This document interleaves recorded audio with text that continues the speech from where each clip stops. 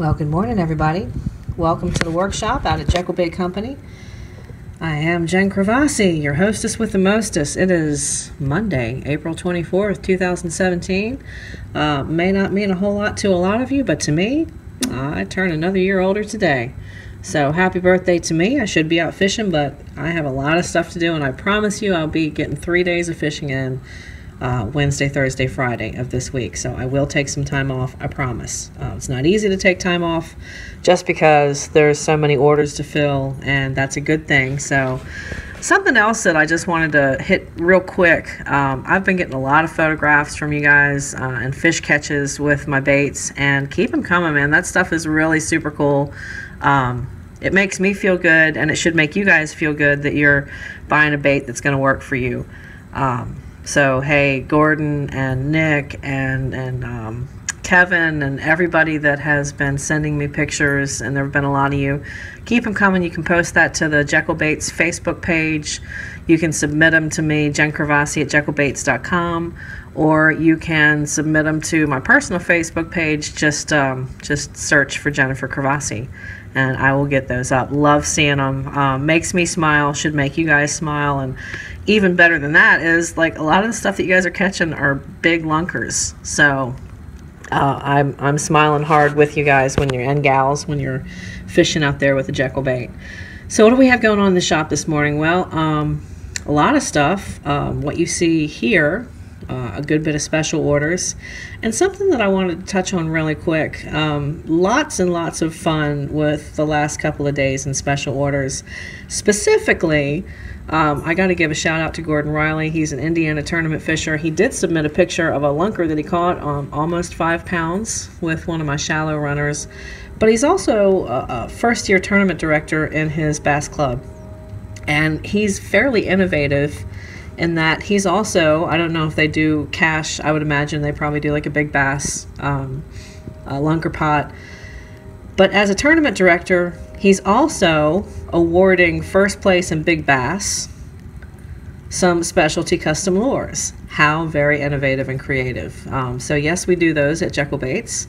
Um, this is a Pop Max that he wanted in a sexy shad. And it has the, uh, the club initials and the lake and the year. And of course, we paint two of these because one's for Big Bass and one's for um, the first place. So we've got same thing in a Fire Tiger and a Spro Little John. And then also, let's see, where did they go?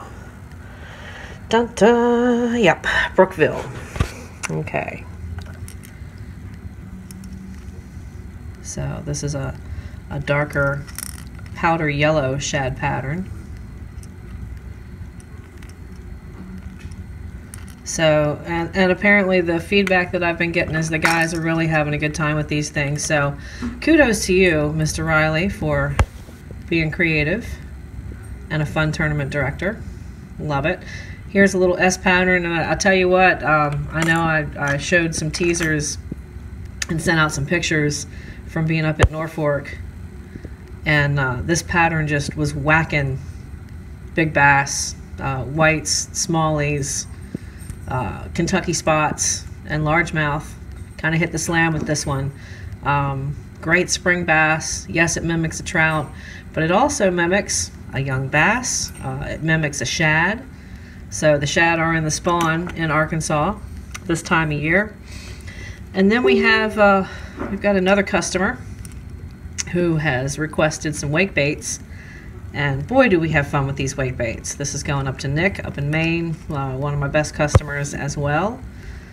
Really cool, um, very festive. And if you look, this has got the, uh, the wonder webbing on it. Just having a blast doing this kind of stuff for you guys. Super, super fun. The red bug, always a hit in the spring. These are great bed raiders. Um, you can kind of float them over top of a bass bed and you'll usually get some pretty consistent bites out of it. And all of these of course need to be dressed and, and geared, uh, cleaned up. Got to get the eyelets cleaned up. But just having having a good bit of fun with these patterns for you guys. A couple more things we'll show you real quick. Now this is a floating slash shallow suspending um, and I normally wouldn't do a crawl pattern on this but I got a concept from a friend of mine who says hey would you make a crawl pattern for me on a jerk bait because I want to fish shallow creeks for smallmouth and you can do it a few times of the year um, when they're chasing shad back in the fall and you can do it this time of year when they're in transition from a spawn and they're going back into their heavy feed mode so this is uh, this is a replica of um, of a Rapala. It's got that flash, and it's just a fun little craw pattern. And of course, I did paint the bill on this since they wanted a craw, and there's your crawfish claw. So fun, fun, fun. Lots of fun doing this. And then we've got some perch going back to the wake baits.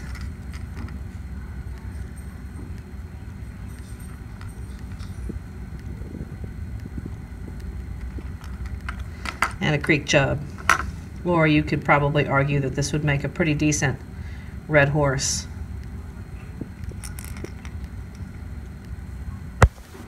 Little sucker imitation. So folks, that's uh, that's the long and short of it. Um, there are some other baits in here, and I don't want to take up your whole day. Just wanted to kind of give you a glimpse of what's going on here at Jekyll Baits. Thanks for checking us out this morning. Um, we've got uh, hopefully a couple of uploads coming for you in the next couple days. Need to get the entire three-day festivities from Norfork uploaded, which is going to be coming. And that's pretty much all I've got for you this morning. Oh yeah, hang on, one more. Susquehanna Flats in a wiggle wart. This is going out the door this morning. Good stuff. You guys have a great day. Thanks for watching. See you on the water.